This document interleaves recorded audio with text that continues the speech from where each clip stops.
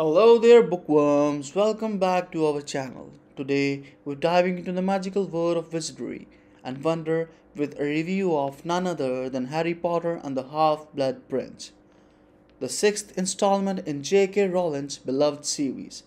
So grab your wand and settle in because we've got a lot to discuss. Alright, let's jump right into it.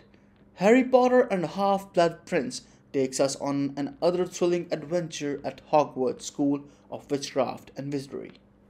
In this book, we see a darker and more mature tone as the Wizarding world faces increasing threats from Voldemort and his Death Eaters. One of the things that stand out in the installment is the Chamber Disappointment. Harry, Ron, Hermione are growing up and the intricacies between more complex. The dynamics between them shift as they navigate their teenage years, adding a layer of relatability to the story. The relationship between Harry and Dumbledore deepens as well. We got to learn more about Dumbledore's past, which sheds light on his motivation and decisions. The mentorship dynamic is beautifully portrayed and adds a lot of emotional depth to the narrative. Of course, we can't talk about the book without mentioning the exploration of Voldemort's backstory through the memories collected in The Pensieve.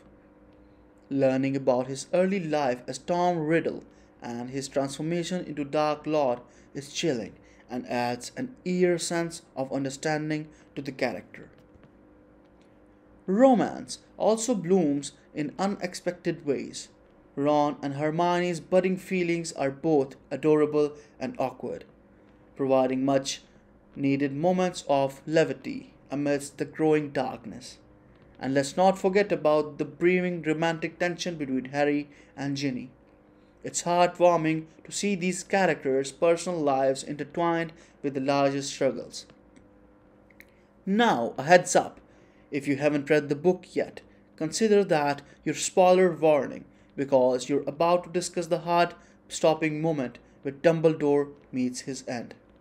This shocking turn of events marks a pivotal moment in the series as it leaves Harry to face the challenges ahead without his guiding mentor.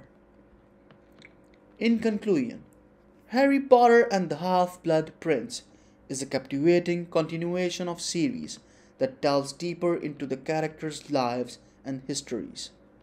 The balance between light-hearted moments and the looming darkness is masterfully handled, making it a truly engaging read.